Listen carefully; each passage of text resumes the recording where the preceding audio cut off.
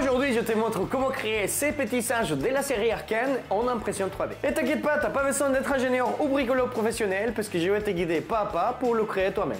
Comme j'adore la série Arkane, mais surtout Jinx, je suis allé sur internet pour créer un de ces projets. J'ai trouvé des projets cool, oui, mais rien à propos de ces singes. Et comme elle est bien bricoleuse, et moi aussi, je me suis lancé ce défi.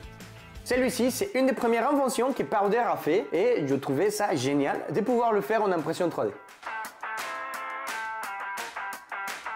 J'ai fait pas mal de prototypages et je me suis trompé plusieurs fois, mais t'inquiète pas, aujourd'hui je vais te montrer le processus pas à pas pour que tu puisses le fabriquer toi-même. Et comme je suis un ingénieur super fort, je fais des notes méga professionnelles. Donc je vais créer un singe avec des jambes et des mains qui bougent et le plus compliqué ça va de le faire marcher. J'avais pensé à mettre un moteur de chaque côté relié pour une tige et faire un effet de va-et-vient. On a le concept général de cette fabrication et les deux défis, ça va être de le faire marcher et qui bouge les bras. Et mon but, c'est pas de faire un robot méga compliqué. Je n'ai pas ni les connaissances, ni le budget pour faire ça. C'est grâce à la centaine de vidéos que j'ai regardées à propos des robots simples sur YouTube que ça m'a venu l'idée de faire ce projet. Et comme on a vu pendant la vidéo, ça a l'air très simple et je me suis dit, bon allez, je vais acheter ces moteurs, que c'est un moteur tout simple. Il y a deux fils qui sortent par ici, le rouge et le noir, positif et négatif. On va le connecter sur une alimentation de 3 volts et pour les gens qui savent pas, franchement c'est pas compliqué. C'est comme si vous connectez deux piles ensemble. Alors première chose, le moteur fonctionne et maintenant il nous faut juste connecter l'autre moteur, le relier avec un petit peu de colle chaude et voir si ça fonctionne. Et oui, j'ai collé les moteurs face à face par les tiges.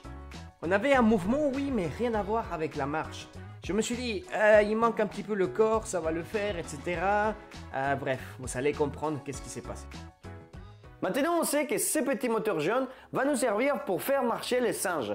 Et pour les bras, on va faire quoi? Bah, On va utiliser un autre petit moteur un peu différent qui s'appelle cerveau moteur. Pour le contrôler, on va avoir besoin d'un Arduino. Mais si tu connais rien en Arduino, t'inquiète pas, j'ai déjà fait le programme et tu pourras juste le télécharger et l'insérer pour contrôler ton moteur. J'ai choisi un cerveau parce que je vais utiliser le même concept des pinces qu'on peut constater sur les bras robotiques. Alors ça, c'est une petite pince que j'ai fait en impression 3D il y a quelques années et que je l'ai vu dans le coin, je me suis dit, bah tiens, ça peut être une bonne idée pour faire les bras. Ici, j'ai commencé à dessiner en 3D. Le cerveau moteur va nous aider à gérer un bras qui a des engranages et qui va transmettre ses mouvements aux autres pièces. Cela va nous permettre d'ouvrir et fermer très facilement.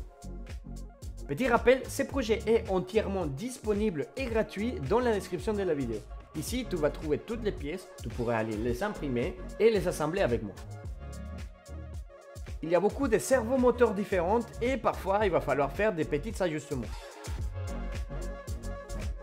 Une des choses les plus importantes sur cette étape, ça va être d'aligner les engranages. Comme ça, on va assurer un mouvement fluide. Et surtout, faire un test avec l'Arduino. Comme ça, on valide que tout marche correctement. Nous avons déjà la partie des marches avec les moteurs et la partie des bras avec les servomoteurs. Je vais passer à modéliser en 3D pour toute la partie de corps et la déco. J'ai utilisé mon logiciel de prédilection et le sponsor de cette vidéo, SolidWorks for Makers. Et je sais que tu as entendu déjà parler de SolidWorks puisque c'est un logiciel utilisé dans l'industrie mais aussi aux écoles pour apprendre à utiliser la 3D. Et je sais que ça peut faire peur parce que bah, qui dit industrie dit un logiciel cher. Et eh ben non, parce que SolidWorks est à l'écoute et maintenant il vient de sortir la licence SolidWorks for Makers qui va te permettre d'utiliser plusieurs outils, surtout un outil que j'adore qui s'appelle Xshape. Une des choses que j'aime bien sur Xshape, c'est qu'on peut dessiner des choses très compliquées de manière très simple. Et ça, grâce à sa manière de fonctionner, parce que c'est comme si c'était la pâte à modeler.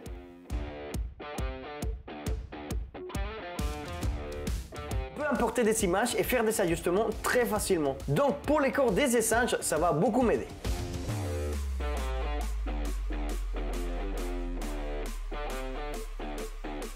Allez, t'inquiète pas si tu as un MacBook, SolidWorks est compatible grâce à sa version cloud.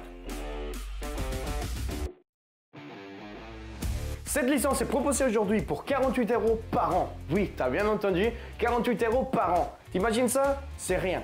Mais les amis de SolidWorks m'ont envoyé 20% de réduction grâce au code que je laisse dans la description de la vidéo. N'hésite pas à te lancer dans cette belle aventure de la 3D. Je vais te laisser tous les fichiers de ces projets dans la description de la vidéo, comme ça tu pourras le télécharger et jouer un petit peu avec le logiciel. Merci encore à SolidWorks pour le sponsor de cette vidéo. Je continue avec la modélisation et même si je prends beaucoup de plaisir à faire ce type de projet, ça me prend pas mal de temps. La grande difficulté sur ces singes, c'était de passer toute la mécanique à l'intérieur. J'ai dû laisser quelques ouvertures pour laisser les bras bouger facilement. Il faut pas oublier les disques et surtout je fais un test pour voir s'il n'y a pas de collision. Je rajoute quelques petits détails dans la tête. Et pour donner un petit peu plus de stabilité, j'ai ajouté un patin sur la partie basse. Une fois le dessin 3D fini, je passe à connecter les moteurs. Et ici, c'est très simple. Tu connectes le plus et le moins et ça fonctionne. Par contre, si tu veux changer le sens d'orientation, il va falloir inverser les fils. Et t'inquiète, ça va pas endommager le moteur, ça va juste changer l'orientation. Pour ces petits singes, il va nous falloir un moteur connecté de cette manière et l'autre de façon inversée. Si tu connectes mal, bah, tu vas vite te rendre compte que ça va pas marcher. Et comme je disais au début de la vidéo, j'ai passé par pas mal de prototypes. Je trouvais que l'idée était pas mal, mais quand j'ai assemblé le corps, bah voilà quoi. Et à cet stade-là, j'allais abandonner parce que c'était vraiment la catastrophe. Vous avez vu qu'il n'y avait rien qui marchait. Franchement, ça faisait juste de bouger d'un côté à l'autre. J'avais fait même plusieurs impressions 3D, des corps, des modifications un petit peu à l'arrache et il n'y a rien qui marchait correctement. Mais j'ai pas baissé les bras et j'ai continué à faire quelques expériences. Et oui, le problème principal, c'est que j'avais des jambes indépendantes et une liaison au milieu, celle qui prenait tout le poids de corps. Bref, maintenant ce que je vais faire, c'est que je vais coller un moteur de chaque côté et on va voir le résultat. Et le secret était là. Le secret, c'était la tige qui guide les jambes. Je suis retourné sur SolidWorks et j'ai modifié le dessin. Maintenant, chaque moteur sera indépendant et je devrais les guider pour pas avoir des problèmes d'équilibre. J'ai modifié aussi le patin pour le faire plus large. Et maintenant, passons à l'impression 3D.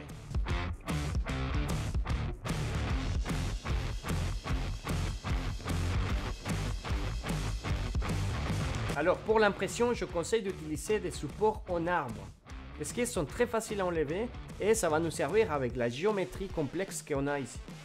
Il va falloir faire un petit peu de peinture, mais heureusement Powder a fait un style un petit peu pas très net, très net, chose qui m'arrange parce qu'avec les pinceaux, je suis pas très fort.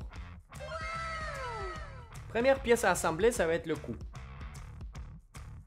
Ensuite, on va passer à assembler ces petites pièces sur les moteurs. Et c'est grâce à cette petite pièce en décalé qui va nous donner l'effet des va-et-vient. Ensuite, on passe à installer les moteurs au corps de notre singe. Avant de continuer, il faut vérifier que tout soit bien installé et surtout que les moteurs tournent avec la bonne orientation. Rappelle-toi que les jambes vont aller vers l'avant.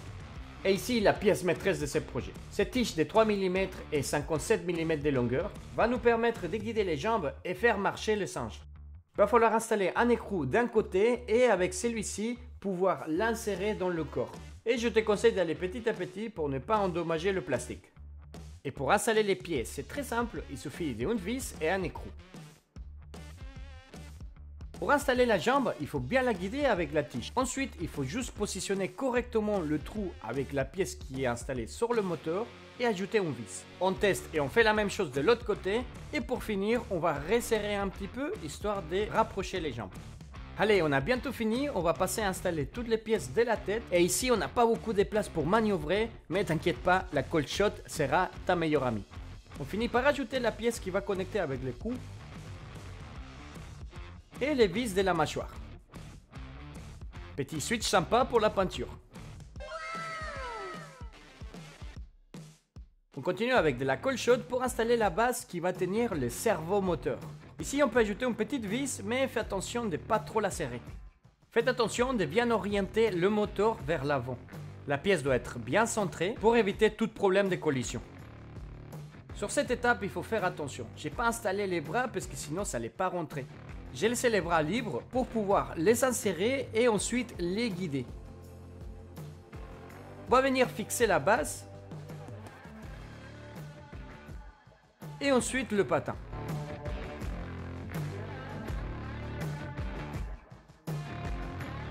Voici l'explication pourquoi j'avais pas laissé les bras assemblés. Bah d'abord c'était pour faire passer les choses, mais aussi pour tester s'il n'y avait pas de problèmes avec la synchronisation des engrenages. Oui, je sais, on dirait que c'est trop compliqué, mais t'inquiète pas, c'est juste vérifier avant tout assembler que tout marche correctement. On va sortir tous les fils et les reconnecter comme c'était avant. Maintenant, on est prêt pour aller tester ce petit singe.